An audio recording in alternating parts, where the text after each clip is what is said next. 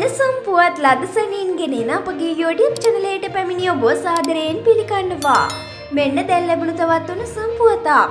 අද පැවැත්වීමට නියමිතව තිබූ මාර්ගගත ක්‍රමවල සුරක්ෂිතභාවය පිළිබඳ පනත් කෙටුම්පත පිළිබඳව සාකච්ඡා කිරීමට විපක්ෂයේ පක්ෂ නායක රැස්වීමක් අද නැවත සභාව ලෙස කල් තබා තිබෙනවා.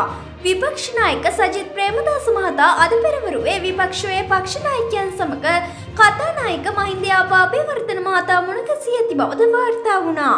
කතානායකවරයාගේ නිල කාමරයේදී එම හමුව සිදු ඇති අතර එහිදී මාර්ගගත ක්‍රමවල සුරක්ෂිතභාවය පිළිබඳ පනත් කෙටුම්පත ගෙනීම සම්බන්ධයෙන් සාකච්ඡා කර තිබුණා. මෙවැනි උණුසුම් පුවත් ලදසරින් දැන ගැනීම සඳහා අපගේ YouTube චැනලය සබස්ක්‍රයිබ් කර බෙල් අයිකනයද ක්‍රියාත්මක කරන්න.